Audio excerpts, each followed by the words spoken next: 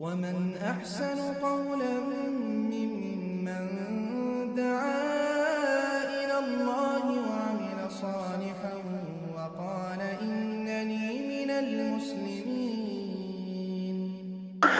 আসসালামু আলাইকুম রহমতুল্লাহ বরকাত আলহামদুলিল্লাহ ওয়াহদা ওসলাত আসসালাম আলা মাল্লা নবী বাদা প্রশংসা আল্লাহর জন্য দুরুদ তাসলিম বর্ষিত হোক শেষ নবী মোহাম্মদ সাল্লাহ আলাই সাল্লামের উপর আল্লাহ সাল্লি আলাই বারিক আলাই আহ, আজকে দিনী মাজলিসের বিষয় যে মানব জীবনে শিরেক আগে না তাও আগে?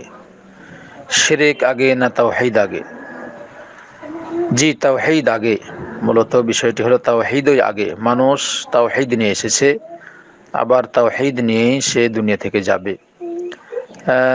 প্রত্যেকটি সন্তান যখন জন্মগ্রহণ করে দুনিয়াতে যখন আসে, ওই সময় হিন্দুর সন্তান হোক, মুসলিমের সন্তান হোক, খ্রিস্টানের সন্তান হোক বৌদ্ধের সন্তান হোক অগ্নি পূজকের সন্তান হোক, যে কেউ যারই সন্তান হোক না কেন সন্তান, সন্ততি যেটাই হোক না কেন, সবাই ইসলামের উপর, তাওহিদের উপরে দিনের উপরে, ফিতরতের উপরে তারা জন্মগ্রহণ করে।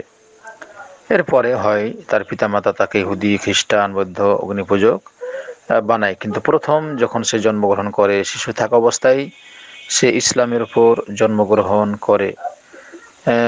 এ মর্মে আবু হরাইরা বলছেন যে আল্লাহ রসুল সাল্লাহ সাল্লাম বলেন কুল্লু মাউলুদুন মাউলুদিন ইউলাদু আলাল ফিতরা ফা বাবা বাওয়াহু ইউহাব্বিরানিহি আও ইউনাসসিরানিহি আও ইউমাজ্জিসানিহি। আবু হুরায়রা বলছেন যে আল্লাহ রাসূল সাল্লাল্লাহু আলাইহি সাল্লাম বলেন প্রত্যেকটি সন্তান ফিতরতের উপর তাওহীদের ওপর সঠিক তাওহীদের আহ, সঠিক আকিদের উপর ইসলামের উপর, তাওহীদের উপর, ইসলামের উপর জন্মগ্রহণ করে। এরপরে তার পিতা মাতা তাকে হুদি খ্রিস্টান, অগ্নিপূজক বা অন্য ধর্মে ধর্মান্তরিত ধর্মান্তরিত করে। কিন্তু মূলত এরা ইসলামের উপর জন্মগ্রহণ করে। তার প্রথম ইসলাম, আবার লাস্টেও ইসলাম। তাই তো আল্লাহ সুবহান তাআলা রোহ জগতে সবাকেই জিজ্ঞেস করেছিলেন যে রব্বিকুম? আমি কি তোমাদের প্রতিপালক নই? আমরা সবাই বলেছিলাম কলু বালা, জি, আপনি আমাদের প্রতিপালক, সত্য মাহবুদ তাই সত্য মাহবুদের জন্য আপনার, আমার এবাদত বন্দিগি, যা কিছু রয়েছে আল্লাহর জন্যই করতে হবে। আল্লাহকে ভয় করা, আল্লাহর কাছে আশা, আকাঙ্ক্ষা করা, তার কাছে চাওয়া পাওয়া, তার কাছে ভরসা করা, তার উপর ভরসা করা, তার উপর তাকে যথেষ্ট মান্য করা, তার জন্য সালাত, হজ জাকাত সিয়াম, ভয়, ভীতি, যা কিছু আছে মানত, কুরবানি আশা, আকাঙ্ক্ষা সম্মান, তাজিম, ভালোবাসা সব কিছু আল্লাহকেই আপনার করতে হবে এবং তার জন্য ইবাদতবন্দি করতে হবে।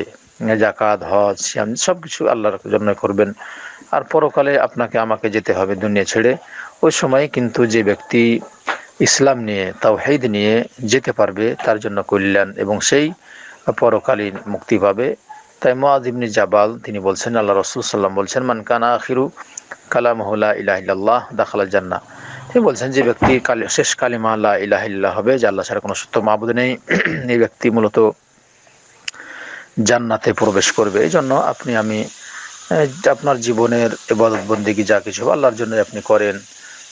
অন্যায় কাজগুলো ত্যাগ করেন, সুদ, ঘুষ জেনাবে বিচার ফাহিসা কাজ তারি, মদ জুয়া, আড্ডা বিড়ি, তামাক সিগারেট যা, এগুলো যা কিছু মানুষ এগুলো অন্যায় কাজ যেগুলো করছে, এগুলো ত্যাগ করার চেষ্টা করেন।